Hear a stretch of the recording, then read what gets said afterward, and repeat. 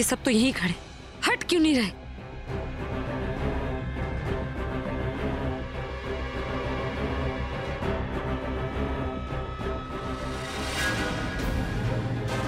यहाँ सिग्नल है।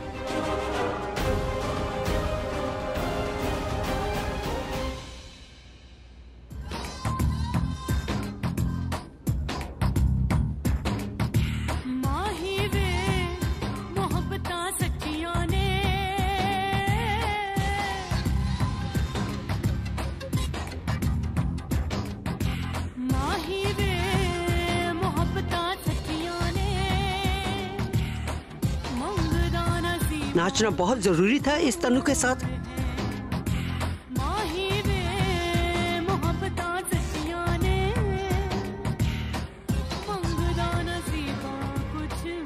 और ये प्रज्ञा अभी तक पता नहीं क्यों नहीं आई।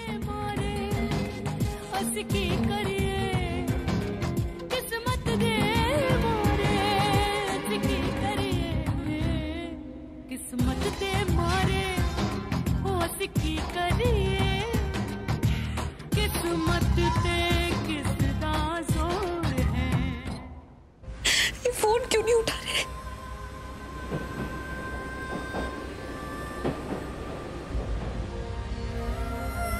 मैं पूरब को फ़ोन करती हूँ। अब उसका फ़ोन आ गया तो जाना ही पड़ेगा। नहीं तो अगले फ़ोन में दी का सारा गुस्सा मुझ पे उतार देगा। और दी से तो मेरी बात करने की हिम्मत ही नहीं हो रही है। उसी का फ़ोन आ गया लगता है। दी? हेलो दी आई एम सो सॉरी मैंने सुबह से आपको फ़ोन नहीं किया। मेरी हिम्मत ही नहीं हो रही थी कि पूरब पूरब मैं बहुत बड़ी मुसीबत में हूँ। क्या हुआ दी आप आप इतना घबराई हुई क्यों कुछ गुंडे मुझे ज़बरदस्ती उठा कर पता नहीं कहाँ कहाँ लेकर आ गए। क्या? कौन है वो लोग? मुझे नहीं पता मुझे नहीं पता। दी लेकिन वो आपको कहाँ ले गए? कुछ देखा आपने?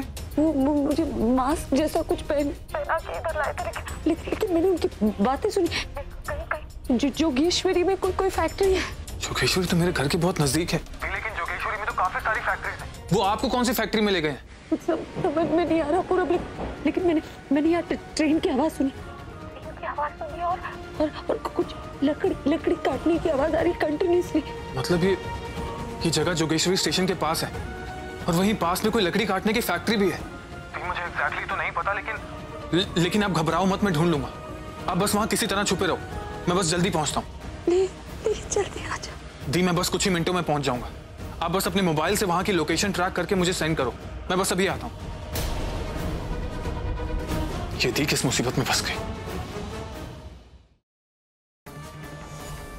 ये सारे फसाद की जड़ तुम ही हो। हाँ?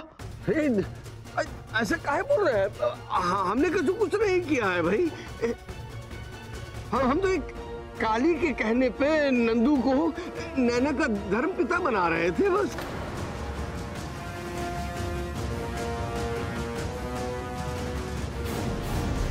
तुम्हें नैना का केयरटेकर क्या बना दिया? तुम तो अपनी हद ही भूल गई ना। इतना बड़ा झूठ इतना बड़ा इतना बड़ा गेम खेला तुमने। आई मीन उस बेचारी निकिता को फंसाने की कोशिश की। हाउ तुम्हारी वजह से मैंने, तुम्हारी वजह से भाई ने उस बेचारी पर शक किया। तुम्हारी वजह से वो जेल गई। तुम्हारी वजह से एक इनोसेंट लड़की जेल गई। और इसकी वजह से सिर्फ़ तुम्हारी नहीं, उसकी नहीं, हमारी पूरी कंपनी की बदनामी होगी। How could you how dare you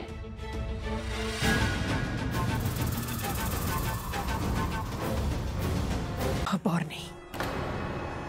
माई माई सुनो मुझे तुमसे ज़रूरी बात करनी है यहाँ ध्यान दो।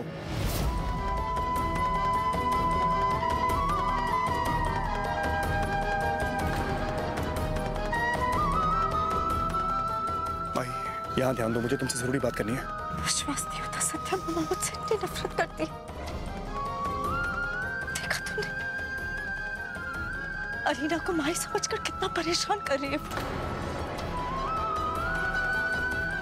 इतनी बुरी हूँ सत्य तेरी शादी में इच्छा से।